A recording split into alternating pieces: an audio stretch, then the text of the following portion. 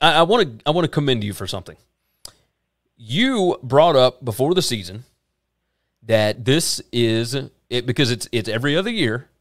You brought up that J.J. Watt will not play nearly the amount of plays that he did last season for the Texans uh, for the Cardinals this year, and you turned out to be 100% right because J.J. Watt is now out for the season after having shoulder surgery. He played through the injury uh, last Sunday. And once they went in, did a little research, figured it out and whatnot, they revealed he will have to have surgery and he is dunzo. Dunzo for the season. One, this is really no surprise to you, I would I would imagine. And and what are your nope. thoughts on it? Uh, I mean, JJ Watt is a really good player when he can play football. Every other year for the last decade, JJ Watt has been an amazing football player.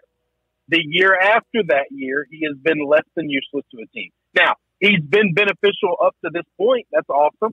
He's one of the reasons they're undefeated. That's great.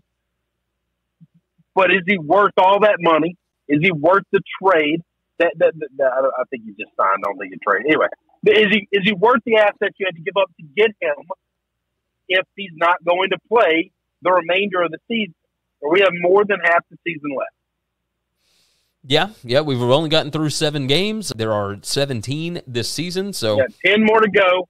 And and I just I just wonder how do football guys not look at patterns like that and take them into account?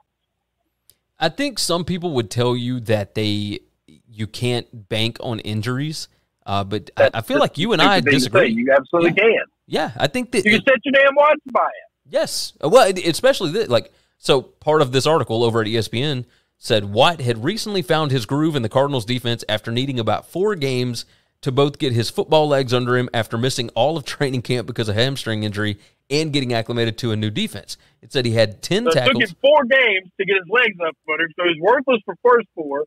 Yep. He played in three. He was really good in those three. Well, the last one he was really good in two. The last one, he only played about, I don't know, a third of the snaps because he was playing through the injury and he got hurt. So, like, you know. Oh, good. That's. It, I mean, if you, I, I don't take joy in the fact that the guy got hurt. It's just one of those things that I find, I just find interesting. You like everybody it. told, everybody told me the Browns should sign him because he was looking at Cleveland, and I was like, no, they shouldn't. Sign him next year. Sign somebody sign to a one year deal, and then Cleveland can sign him next year on a deal because he's going to come off an injury. He's going to come cheap. He's going to, you know, all this stuff, and he'll be better. Yes. Uh, his stats thus far, he had 10 tackles, including five tackles for loss, uh, had one sack this season, and he he finished with 10 quarterback hits in the first seven games, yeah.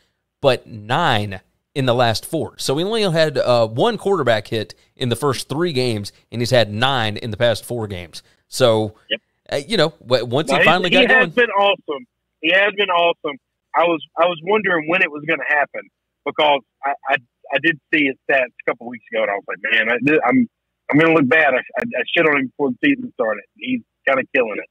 Yeah, and and then it was just okay. Now it's over. Oh, okay. We just pulled the ripcord. It's ball game now. All right. Well. now there it is. There it is. Now he's done. So, yeah, so JJ Watt out for the season with shoulder surgery. Thanks for listening to the Winning Cures Everything podcast. The website is winningcureseverything.com. And if you want to connect with us, we're on Twitter at Gary WCE, at Chris B. Giannini, at Winning Cures, or you can email us, Gary at winningcureseverything.com or Chris at winningcureseverything.com. Subscribe everywhere you need to subscribe, and we'll see you soon.